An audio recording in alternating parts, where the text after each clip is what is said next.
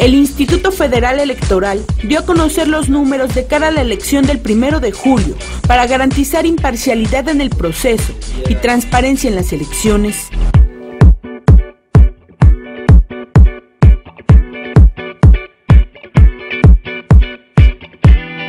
El domingo elegiremos presidente de la República, senadores y diputados federales.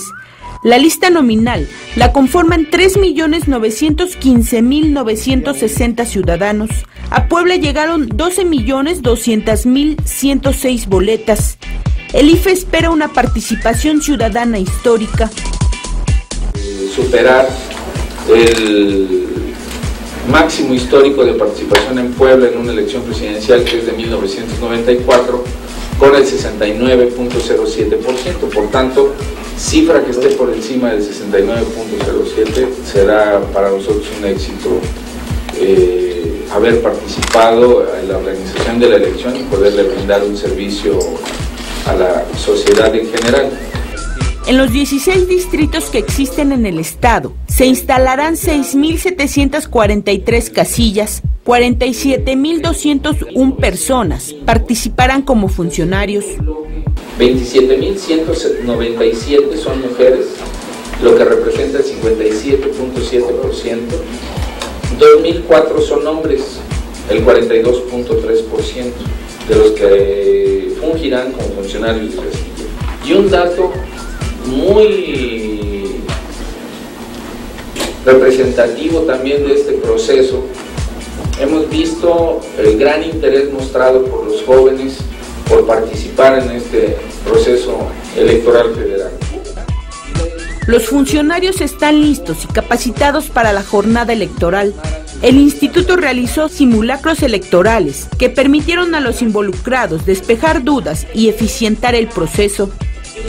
La instalación de casillas especiales en el estado queda de la siguiente forma. 12 en Puebla capital, 4 en Tehuacán y San Martín Texmelucan, San Pedro Cholula y Teciutlán contarán con dos.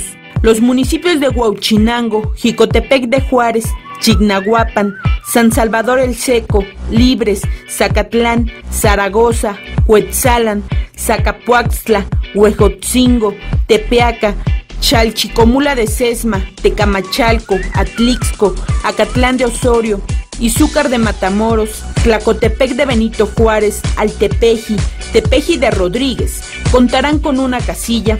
Solo 750 electores podrán votar en este tipo de casillas.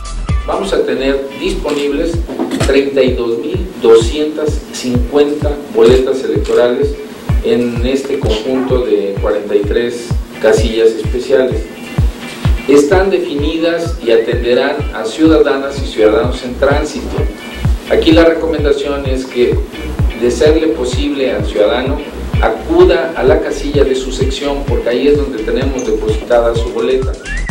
En esta elección aumentó la participación de votantes en el extranjero. De 2.956 poblanos, ya votaron 1.487 y sus boletas ya están resguardadas en el IFE. 1.472 faltan por emitir su sufragio. El próximo domingo, 1.648 personas serán observadores electorales, 109.914 representantes de partidos políticos. En cada casilla habrá mínimo tres. Más de 200.000 ojos vigilarán los comicios. A unos días del primero de julio, el IFE espera una elección tranquila en Puebla. Solo dos municipios de los 217 reportan incidentes menores.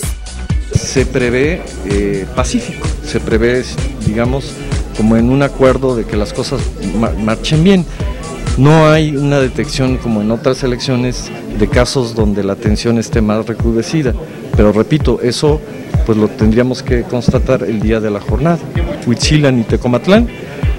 Eh, no hay otra, este, hasta ahorita no tenemos noticia de, algún caso eh, en particular que, preocupe. En tres meses de campaña se recaudaron más de 1.200.000 pesos por multas que interpusieron a los partidos políticos y candidatos. Con imágenes de Giovanni Palma, Miriam Pomposo, Puebla, Noticias.